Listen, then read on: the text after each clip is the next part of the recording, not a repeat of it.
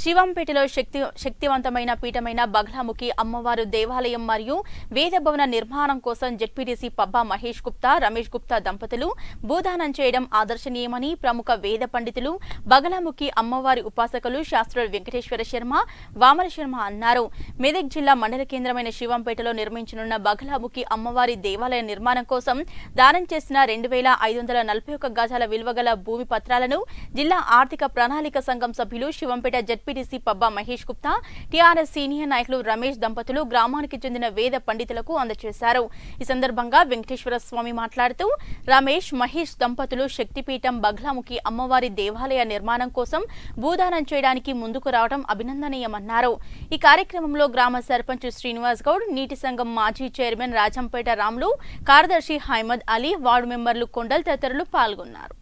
తెలంగాణ రాష్ట్రంలో ఎక్కడా లేని విధంగా ఈ గ్రామంలో శ్రీ బగలాముఖి శక్తిపీఠాన్ని స్థాపించాలనుకుని వారితో సంప్రదించగా వారు స్వచ్ఛందంగా ముందుకొచ్చి వారి స్వస్థలం ఏదైతే ఉందో ఇక్కడ ఇరవై ఒక్క గుంట గ్రామంలో ఉన్నవాళ్ళు కానీ మన చుట్టుపక్కల ఉన్నవాళ్ళు కానీ మన రాష్ట్రంలో ఉన్న వాళ్ళందరూ కూడా దీన్ని ఆదర్శంగా తీసుకొని వాళ్ళు కూడా ఉదారంగా అమ్మవారి దేవాలయ నిర్మాణానికి ఇంచుమించుగా రెండు కోట్ల రూపాయలు వ్యయం అవుతుందని అనుకుంటున్నాం కాబట్టి ఇది ఎవరొక్కరి వల్ల అయ్యే పని కాదు.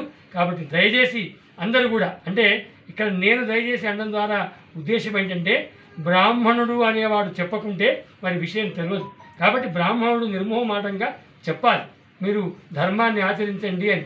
ధర్మమును ఆచరించడం అనేది అనేక రకాలుగా ఉంటుంది. అందులో ఒక విధం ఈ రకంగా దేవాలయ నిర్మాణాలకు మనం మనకు చేతనైనంత ఆర్థిక సహాయాన్ని చేయడమే ఒక రకమైనటువంటి ధర్మాచరణ కాబట్టి ఈరోజు మన పబ్బా వంశం వారు అందులో ముఖ్యంగా మా పబ్బా రమేష్ గుప్త గారు మరియు పబ్బా మహేష్ గుప్త గారు ఏదైతే ఉదారంగా ఇవాళ కోటి యాభై లక్షల రూపాయలని ఈ ఈ నిర్మా అంటే ఈ నిర్మాణానికి నిమిత్తంగా మొట్టమొదట శిలాన్యాస కార్యక్రమానికి వాళ్ళు ఇచ్చినందుకు వారికి అమ్మవారి తరఫున ఆశీస్సులు వ్యక్తిగా కృతజ్ఞతలు. ఈ నెల ముప్పైవ తేదీ నాడు ఘనంగా అమ్మవారి యొక్క శిలాన్యాస కార్యక్రమం జరగబోతుంది. శిలాన్యాస కార్యక్రమం రోజున ఇక్కడికి వచ్చి అమ్మవారి సమక్షంలోనే మీరు అమ్మవారికి మీరు చేయదలుచుకున్నటువంటి దానాన్ని ధర్మాన్ని కనుక చెప్పడం ద్వారా మీరు మీ ఆత్మను మీరు అంటే శుద్ధి చేసుకున్న వాళ్ళు అవుతారు ఆ రకంగా పుణ్యాన్ని పొందిన వారు అవుతారు కాబట్టి మరోసారి ఇటువంటి ఉదాత్తమైన కార్యక్రమాన్ని చేసినటువంటి మా పబ్బా రమేష్ గుప్త గారికి పబ్బా వారి కుమారులు పబ్బా మహేష్ గుప్త గారికి కూడా అమ్మవారి తరఫున శుభాశీస్సులు అందజేస్తూ